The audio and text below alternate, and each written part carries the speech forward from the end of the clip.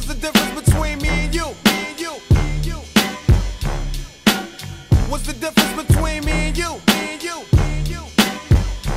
Back when Cube was rolling with Lorenzo in a Benzo, I was banging with a gang of instrumentals. Got the pens and pencils, got down to business. But sometimes the business end of this shit can turn your friends against you. But you was a real nigga, I could sense it in you. I still remember the window of the car that you went through. That's fucked up, but I'll never forget the shit we've been through. And I'ma do whatever it takes to convince you. Cause you my nigga, Doc. And Eazy, I'm still with you. Fuck the beef, nigga, I miss you, and that's just being real with you. You see, the truth is, everybody wanna know how close me and Snoop is, and who I'm still cool with. Then I got these fake ass niggas I first blew with, claiming they non-violent, talking like they spit venom in interviews, speaking on reunions, move units, then talk shit, and we can do this. Until then, I ain't even speaking your name. Just keep my name out of your mouth, and we can keep it the same, nigga.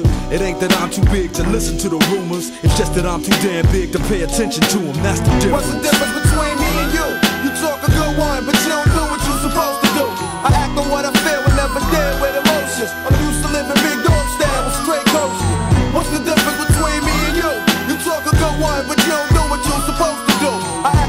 Act on I feel and never deal with emotions. I'm used to living big dog style with straight coasting. Yo, I stay with it while you try to perpetrate and play with it. Never knew about the next level until Dre did it. I stay committed while you motherfuckers babysit it. I